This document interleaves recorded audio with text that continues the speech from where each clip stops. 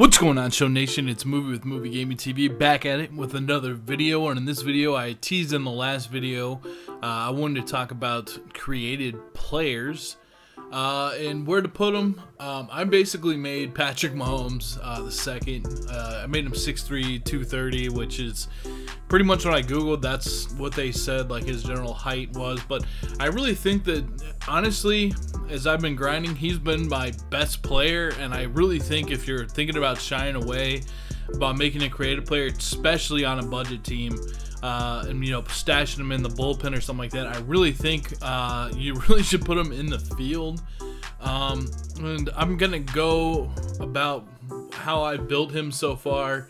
So for what I just what path I'm gonna take is I am gonna go with the second baseman, and then I'm going to make him. Um, I'm going to make him a power focused uh, one. So you can see over there.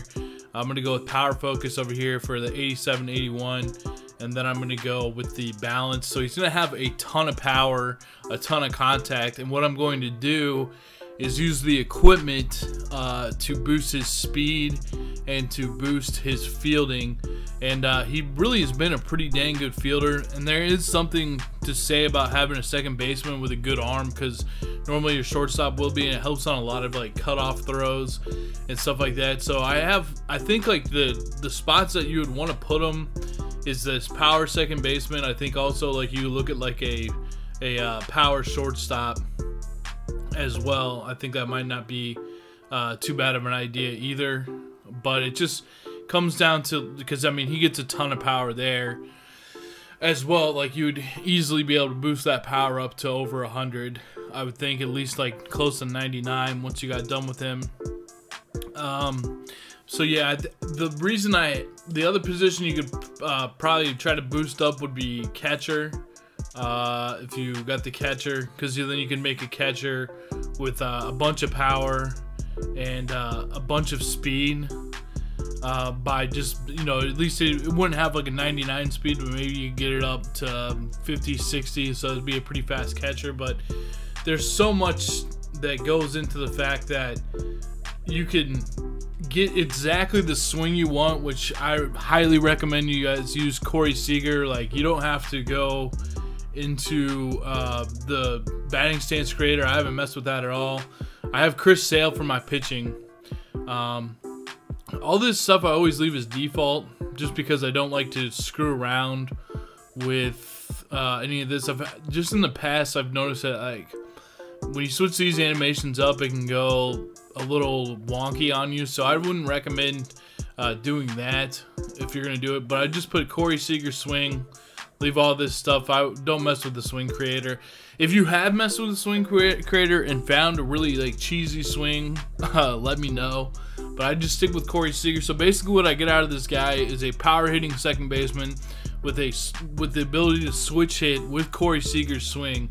And uh, the one thing that you also uh, need to do is get an equipment and here's the equipment I recommend. It's all pretty cheap too. Uh, I was lucky enough to get these cleats uh, when I got the game. It was like one of the cards I got that's no sell and these cleats are kind of expensive. But if you don't make them a catcher you don't need any catcher's gear. And a lot of the equipment too there's like huge price differences. Take for instance this lizard skins bat grip. This is really cheap and you're only going to get like a plus one to contact, plus one to everything else by going up to the next level. So you can get it for real cheap, and I don't see a lot of the value in spending a lot of stubs unless you just have like unlimited stubs. I don't see a lot of the value in just going up the next level. Just get the silver and gold equipment you'll be fine. It's way cheaper. Same thing with like the arm guard. Uh, same thing with the glasses. Just get a, a little boost. It won't cost you much. Uh, I have been flipping those Hatfra bats, but I really just uh, I might put that on. It's a it's a pretty good thing to flip because you I've been getting them at like 800 and selling them for like 12 or 13. And they sell pretty fast, so I actually might flip that. I didn't even know that I had that, but. the drive fast, take chances. Uh, that's what I've been using because you just get the speed. Uh, the Rally Mantis is just something I have that was like uh, just like the cleats I got for free with uh, buying the game or whatever. Uh, this is the bat I use. I like Old Hickory as far as the look of it, but I really like the power and contact. Again, this is another item you can flip. It's only about a thousand stubs.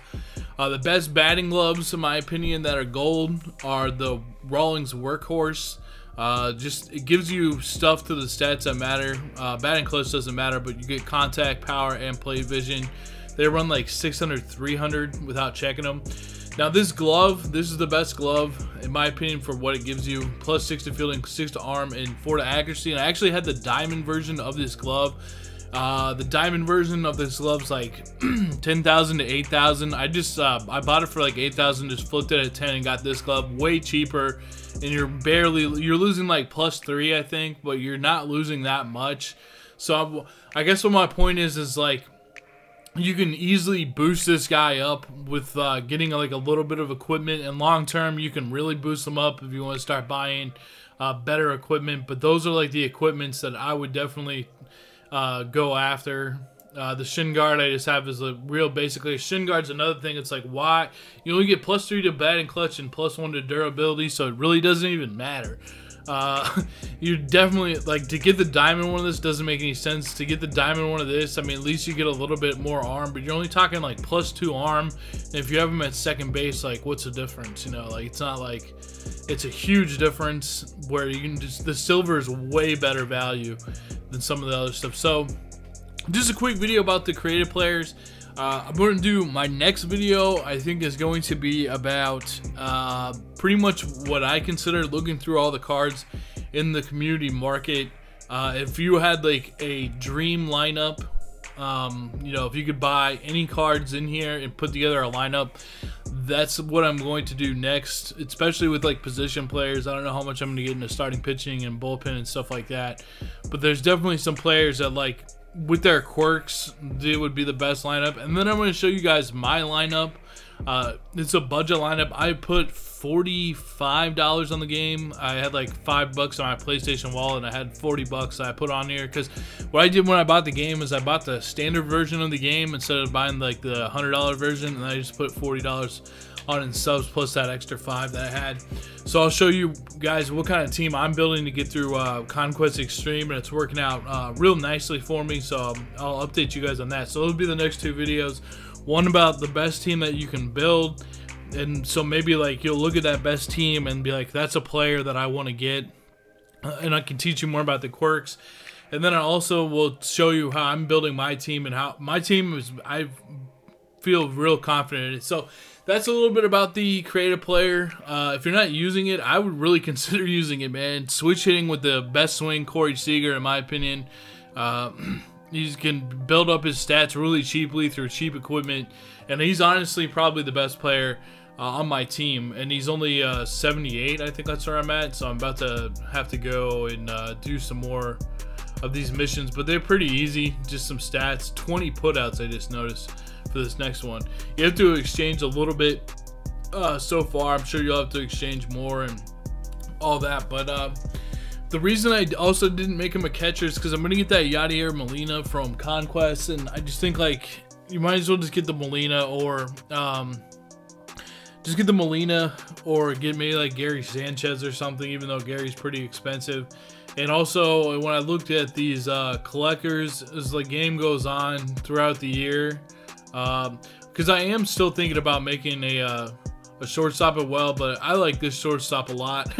I like uh, this is a Tulowitzki is really solid. Got a great swing. Uh, 60 is like to me the power number you need to hit home runs. So if you're in the 70s, you can easily hit home runs. And then 94 arm strength and 62 speed, like that's a really really solid card one of my favorite cards going back to mlb 16 uh, so thank you guys so much for watching this video. If it helped you out drop a like hit that notifications bell sub all that stuff. And until the next video guys have a great day. Peace